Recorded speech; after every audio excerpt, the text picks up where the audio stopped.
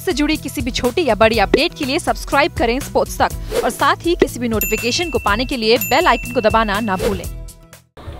दो शानदार जीत और तीसरी का इंतज़ार है। हमारे साथ पूर्व भारतीय कप्तान मोहम्मद अजरुद्दीन है। अजहर भाई क्या हो रहा है? ये भारतीय टीम की क्वालिटी ऐसी है? इतनी बेहतरीन उस लेवल पे खेल रहे हैं? या ये न्यूजीलैंड टीम हमने इनको ज़्यादा आंक लिया? देखिए, इतना अच्छा खेल रहे हैं कि हम लोग न्यूजीलैंड टीम को कंपेयर कर रहे हैं कि वो गलतियाँ करें। क्योंकि ऐसा एक टाइम लग रहा था कि मुझे ऑस्ट्रेलिया से अच्छा न्यूजीलैंड टीम प्रदर्शन देगी। बट लेकिन हमारी टीम कई दर्जे कहीं स्टेप बहुत आगे है। और बॉलिंग में भी आगे है बैटिंग में भी ख्याल में फील्डिंग में भी और थोड़ा सा इम्प्रूव हो सकते हैं। बट लेकिन जो भी जो दो मैचेज हमने देखा है, वो मेरे ख्याल में दोनों मैचेस बॉलर ने नो डाउट आज आज बैटिंग ज़बरदस्त हुई। क्योंकि उन्होंने three hundred and thirty four मारे बट लेकिन मैं समझता कि अगर रोहित शर्मा वहाँ पे आउट होते तो शायद मेरे ख्याल में थ्री सिक्सटी थ्री सेवेंटी भी हो सकता था। बट लेकिन हमने अच्छा डिफेंड किया और बॉलर ने अच्छी बॉलिंग की। चहल और यादव ने बहुत ज़बरदस्त बॉलिंग की। क्योंकि देखिए इनकी बॉलिंग में क्या है ज़्यादा उसमें विकेट के ऊपर निर्भर नहीं होता। ये जितना अच्छा डालेंगे इनके ऊपर होता है। क्योंकि उन्होंने बहुत अच्छी डाली और न्यूजीलैंड टीम की बिल्कुल वो लोग रीड नहीं कर सकते। अगर जब तक आप रिस्क स्पिनर को रीड नहीं करेंगे तो खेलना बहुत मुश्किल होता है। रन बनाना तो बहुत दूर की बात है बट खेलना बहुत मुश्किल होता है। और ये दो मैचेस में प्रूव हो चुका है देखिए न्यूजीलैंड के जब दो तीन विकेट जल्दी गिर जाते हैं तो फिर मिडिल ऑर्डर को बिल्कुल उनको समझ में ही नहीं आते कैसे खेले और इनिंग को कैसे खेले पेस कैसा करे और पचास ओवर तक अगर अगर देखेंगे तो दोनों इनिंग में फिफ्टी ओवर्स भी नहीं खेले। अच्छा विराट कोहली तीसरे ओडीआई के बाद वापस आ रहे हैं इंडिया।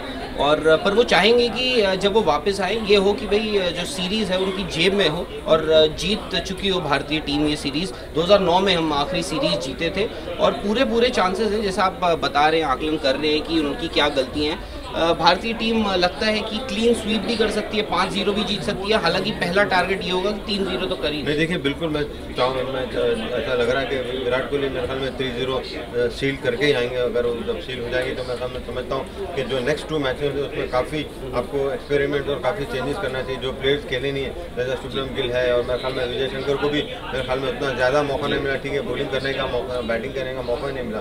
तो मैं समझता हूँ इन लोगों को आगे बढ़ाना चाहिए। अगर शायद अगर पांडे अगर खेलेंगे मेरे ख्याल में फोर्थ या फिफ्थ वनडे में। तो मैं चाहूँगा कि हमें उनको, हमें थोड़ा सा ऊपर बैटिंग कराएँ क्योंकि मैं समझता हूँ उनके पास बैटिंग अच्छी एबिलिटी है, ज़बरदस्त एबिलिटी है, नंबर चार पे भी खेल सकते हैं। क्योंकि देखिए, आपको जब तक कभी तो चांस लेना पड़ेगा कुछ ना कुछ आउट ऑफ़ द बॉक्स सोचना पड़ेगा। अगर पांड्या अगर ऊपर खेलते हैं उनको कहना बोल देना चाहिए कि भाई आप आपको चांस मिला है आप यहाँ पे अच्छा खेलो और एकदम भेरी फेरी शॉट ना करो। फिफ्टी ओवर्स खेलें। अगर वो फिफ्टी ओवर्स खेलें तो हमारे लिए बहुत अच्छा होता है। तो मैं चाहूँगा कि नए नए प्लेयर्स को बिल्कुल आई मीन थ्री ज़ीरो के बाद नए नए प्लेयर्स को मौका मिलना चाहिए क्योंकि वो खाली आप ले जाएँगे उनको बिठा के वापस लाएँगे तो मुझे मैच नहीं समझता हूँ कि कुछ इसमें फ़ायदा होगा बट दोनों मैच में खिलाना चाहिए। खैर स्क्वाड तो आपका लंबा चौड़ा हो ही गया है। हार्दिक पांड्या भी जा रहे हैं। पर कुलदीप यादव एक मुश्किल मिस्ट्री सी बनते जा रहे हैं, बन गए हैं। पहले मैच में उन्होंने चार विकेट लिए पिछले मैच में भी उन्होंने, दूसरे मैच में भी उन्होंने चार विकेट लिए। क्या दिक्कत आ रही है न्यूजीलैंड को? क्या हाथ से नहीं पकड़ रहे हैं उनको?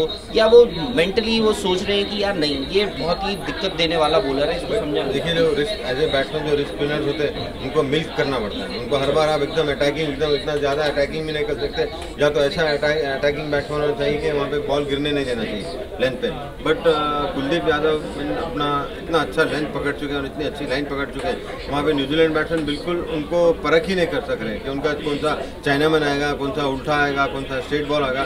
वो बिल्कुल मेरे ख्याल में कर ही नहीं सक। रहे अगर इनके जो बैट्समैन सेट बैट्समैन में सिक्सटी सेवेंटी पे भी खेल रहा है तो वो भी बिल्कुल इनको रीड नहीं कर सक रहा आप जब तक रीड नहीं करेंगे, जब तक आपको ओवर में उनको लाइक आप ऐसा नहीं कि ओवर में उनको हर ओवर में आप दस दस, पंद्रह पंद्रह रन कभी कभी एक ओवर में इनको दस या ग्यारह, बारह रन लग जाएँगे। बट लेकिन नॉर्मली पाँच छः रन, पाँच छः रन अगर लेते रहेंगे तो बॉलर भी दूसरा ट्राई करेगा। अगर आप देखें, आज ब्रेसवेल ने थोड़ा उल्टा सीधा मारने लगा तो वहाँ पे कुलदीप ने भी उन्होंने भी कुछ ट्राई किया, वहाँ इसी वजह से उन्हें एक दो तीन इधर उधर शॉट डाल दिए, फिर ओवर भी डाल दिए। बहुत सही बात है। और अजहर भाई, एक ये भी है कि आपके, क्योंकि अब वर्ल्ड कप तीस मई से वर्ल्ड कप भी शुरू हो जाएगा तो काफ़ी चीज़ें जो हैं उसी तरफ़ चल रही हैं, आपकी टीम कॉम्बिनेशन भी देखा जा रहा है। अगर आप इस टीम को देखें, जो न्यूजीलैंड में खेली या ऑस्ट्रेलिया में खेली और जो अब खेल रही है न्यूजीलैंड में तो उस हिसाब से अगर एक जो जगह है आप राइडू ने जिस हिसाब से खेला है आप संतुष्ट हैं?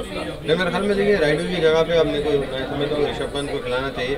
क्योंकि नो डाउट राइडू मतलब जितना भी उनके ऊपर टैलेंट था जितना भी उनको खेलना था तो समझ उन्होंने अच्छी तरह से खेला है। बट लेकिन जब वर्ल्ड कप में आप जाते हैं तो आपके हर प्लेयर अच्छा होना पड़ता है वहाँ पे। आप कोई भी खाने कम नहीं हो सकते वहाँ पे। हर खाना फिलअप होकर जाना चाहिए और वो खाने ही मिलकर आगे जीतेंगे तो मैं समझता हूँ कि ऋषभ पंत को मौका देना चाहिए खेलना चाहिए। राइडू की जगह। राइडू की जगह नहीं तो केदार यादव को भी आप वो उस पर फोर पे खिला सकते हैं, फिर बाद में आप अपना ऋषभ पंत को नीचे खिला सकते हैं। बट लेकिन डेफिनेटली यहाँ पे चेंज मेरे को लगता है। चलिए, अजहर भाई, आखिरी सवाल ये होगा मेरा कि दो ज़ीरो तो हो चुका है। अब अगर आप आप पूरा जब तीन पाँच मैच की ओडीआई सीरीज़ खत्म हो जाएगी स्कोर लाइन क्या होगा आपके स्कोर लाइन मेरे ख्याल में जैसा न्यूजीलैंड अब खेल रहे हैं तो मैंने समझता हूँ कि वो एक भी मैच जीत सकेंगे। यहाँ तक कि मैं सोचता हूँ। बट लेकिन देखिए वनडे में कुछ भी हो सकता है कि प्रडिक्शन आप कर नहीं सकते। जो आज की जो लास्ट दो मैचेस की जो स्थिति है जो उसमें देखा हूँ मैं तो अगर ऐसा खेलेंगे तो मैंने समझता हूँ कि भारत की से लोग जीत सकेंगे कोई मैच चलिए अजहर भाई तो बोल रहे हैं कि पाँच मैच की श्रृंखला में भारत क्लीन स्वीप करेगा। देखते हैं कि कल कैसा दिन होता है भारत की। उम्मीद करते हैं और बेहतर हो।